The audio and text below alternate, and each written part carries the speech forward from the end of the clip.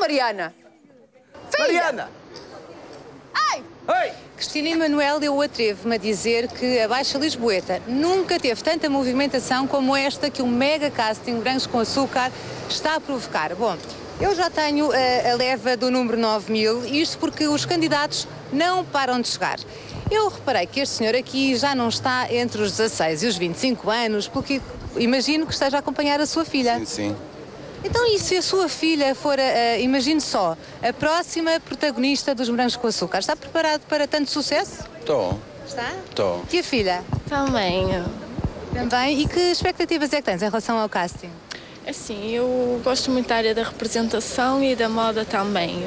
E isto é mais um sonho, nem é automaticamente pela fama, é mais um sonho de criança, de entrar na área da representação, que já fiz teatro e tudo. E pronto, acho que tenho jeito, não custa nada tentar. É um sonho de cerca de 15 mil jovens que vão ser postos à prova nos próximos três dias. Vai- vão ser encontrados os protagonistas da próxima série Morangos com Açúcar, temporada de verão. Filho! Vai lá! Anda cá, filha! Bem jeitosa esta filha, não era? Para casa, não importava nada ter assim uma filha. Oh filho, oh filho, vai lá dormir, vai lá filho, vai lá.